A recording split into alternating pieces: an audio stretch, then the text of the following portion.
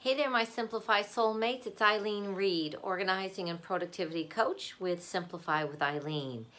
And I wanted to pop in and talk about a situation I had with a client last week.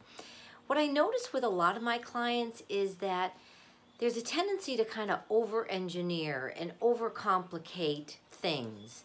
Um, and a lot of it sort of is rooted in our ability to make a decision right then and there, so we kind of create these delayed decisions. The example in particular was my client Janice last week, and we were going through her closet and trying to really uh, figure out what was enough for her, what she wanted to keep, and what she wanted to let go.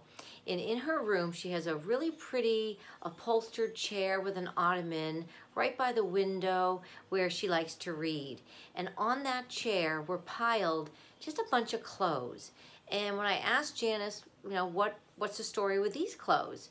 She said, oh, you know, I've worn them once and they're, you know, not dirty enough that I want to necessarily put them in the laundry, but they're not really clean enough that I want to put them in my closet. So here we go. We're creating this over-engineered, this new category of clothing that's taking up space that's intended for something else. So what I encouraged her to do was just decide. Like if they are clean enough that you're going to put them on your body and wear them again, put them in the closet.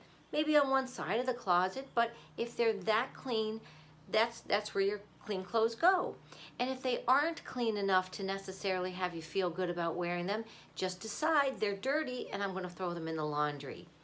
When we keep things simple, it just enhances our life in ways that you don't even realize. So what I'd like you to do is, you know, think about situations in your life, in your work, where you're kind of creating these extra categories or workaround systems when the systems you already have probably work well enough. Think about it. Love to hear any thoughts that you have. Comment below on any situations you found with delayed decisions and over-engineering. Love to hear from you. Simplify with Eileen. Simplify, organize, thrive. Thanks. See you soon.